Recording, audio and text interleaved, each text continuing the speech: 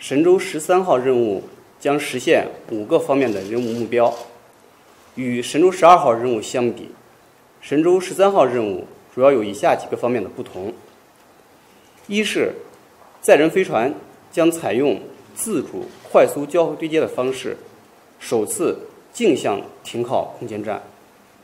我们的空间站核心舱有三个对接口，以前我们都是在前后方向对接，本次任务中将从沿着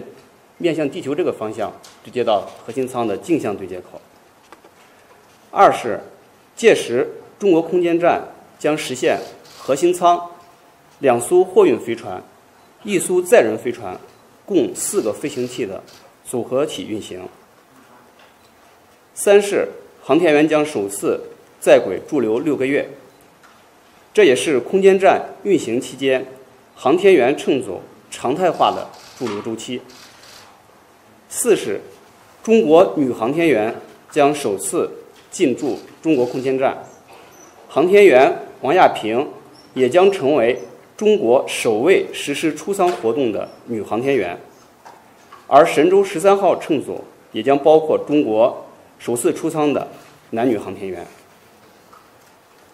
五是神舟十在神舟十二号任务的基础上，将进一步开展更多的空间科学试验与技术试验。产出高水平科学成果。六是实施任务的飞船、火箭均在发射场直接由应急待命的备份状态转为发射状态。执行本次任务的载人飞船和载人载火箭，实际上是和当时神舟十二号任务的飞船、火箭产品一同进场。在神舟十二号飞行任务期间，他们在发射场应急待命。本次任务将执正式执行任务。